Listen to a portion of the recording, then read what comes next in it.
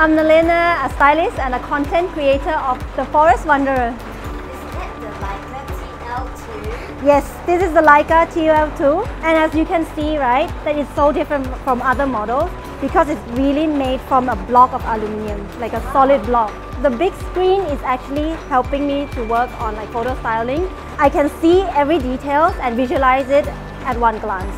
It's fully touch screen, so you can see that there's no buttons and I can work efficient. Yeah, like a smartphone, so I can work efficiently and fast and I can just play with features as quick as I want. You can actually set the mode of touch focus and touch snap. So you can just touch and it will just snap on any objects that you want, that you want to focus on. I do travel here and there a lot and I work at different places and I don't have time. Basically, I don't have time to upload things onto my laptop and to the phone.